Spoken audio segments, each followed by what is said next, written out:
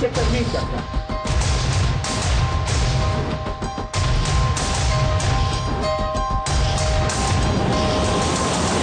él en algún momento determinado viene engañando al pueblo, dicen que son de un partido, después cuando llega otro gobierno son ya de ese gobierno, cuando llega ya el otra gestión, ahora, ahora se ha convertido en cambiemos o en radicalismo.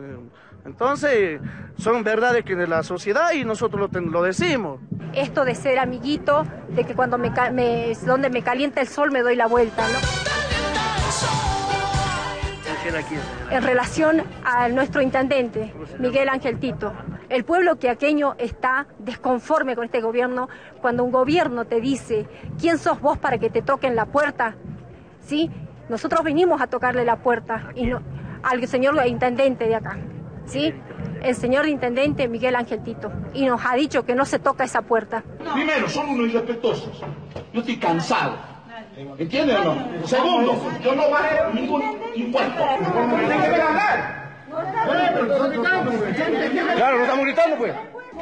Gente, van a hacer ¿quién, ¿qué son ustedes? Oh, bueno, el pueblo, el pueblo, somos pueblo, somos pueblo, somos pueblo que votamos para... Ustedes han venido a tocar la puerta y eso no se permite acá. Ustedes han venido a tocar la puerta y eso no se permite acá. Hay que preguntarse por qué contestó así cuando es la casa del pueblo, ¿verdad? Nosotros podemos venir a la hora que queremos porque es nuestra casa, pero sin embargo nos ha prohibido tocar la puerta. Los videos pasaron por los medios de comunicación, por el Facebook, por WhatsApp, por todos lados se ha difundido, pero aquí nadie hace nada, ¿no?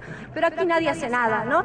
Según él, este, acá no hay persecución, no hay nada, pero nosotros lo palpamos, lo vemos, los compañeros lo hacen los reclamos, día a día que, que estamos nosotros eh, en el gremio o en las calles, se acercan a preguntarnos, a, decirnos que, que las cosas que están pasando y lo, único que nosotros lo decimos es que hay que hacer una denuncia escrita, formal, en la policía, una exposición y bueno, ahí los compañeros no, no quieren hacer esto, ¿no?